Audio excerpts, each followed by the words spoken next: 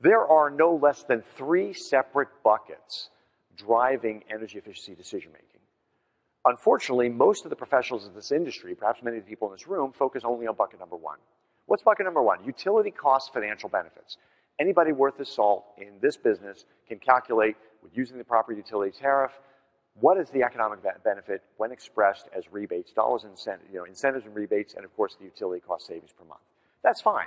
It sounds like a big bucket, especially in a high cost area like Hawaii, where it just came from, where utility prices have been between 30 and 45 cents a kilowatt hour, depending on which island you're on recently. Bottom line, though, is what about Salt Lake City? You know, four cents, six cents? You know, what about other places in the country where you don't have that tailwind of 40 cents a kilowatt hour to fuel your value propositions?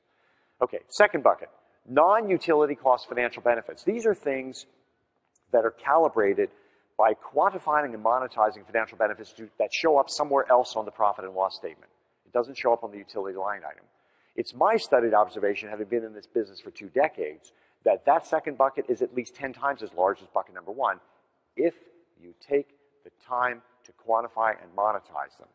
And of course, that preconditions or presupposes that you actually know which ones to quantify and monetize because you have a segment-specific understanding of how your benefits map into their benefits, benefits they care about. More on that later. Number three, non-financial benefits, things like getting an Energy Star label or LEED certification. Sounds like a nice to have, but guess what?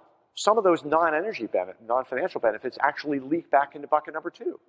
And I'll show you a slide later that shows that in no less than six uh, studies over the last half dozen years, there is a statistically significant relationship between a building that has an Energy Star label on it and higher rent per square foot, higher occupancy, and higher appraised value per square foot.